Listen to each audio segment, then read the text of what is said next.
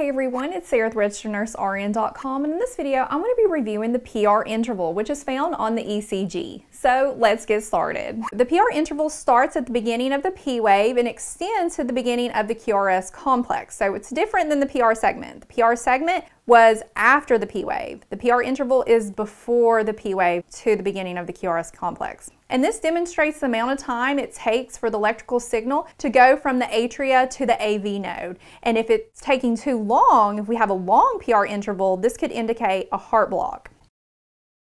The PR interval again starts at the beginning of the P wave and extends to the beginning of the QRS complex. And you're looking at its measurement. It should be about 0.12 to 0.20 seconds, so about three to five boxes. Any more than that, you may be thinking heart block. Here we have a picture of a first degree heart block and notice that that PR interval is more than 0.20.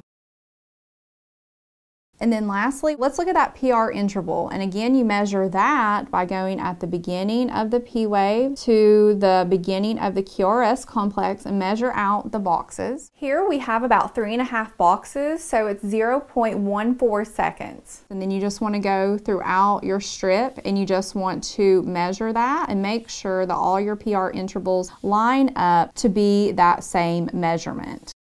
Okay, so that wraps up this video. And if you'd like to watch more videos on ECG interpretation, you can access the link in the YouTube description below.